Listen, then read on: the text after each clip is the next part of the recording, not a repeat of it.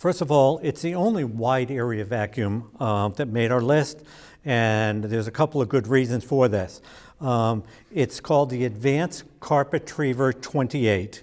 So it's a 28 inch path that it cleans. In addition to that, it's electric. So it's got a very long cord that you would, uh, so you can do long hallways and things with this machine. It's 28 inches. As you can see, the whole side of the machine sticks out way over, jogs over. That means you can get all the edges and corners very well with the machine. In addition, this opens up and the machine has a very large vacuum bag. Uh, so you can go a long time before you have to clean that.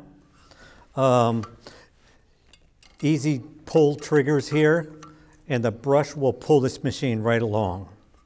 One of the things that really is exciting about this vacuum, if we come over to this side of the vacuum, you can set this to actually go into crevices and corners. It actually has a hose and a wand.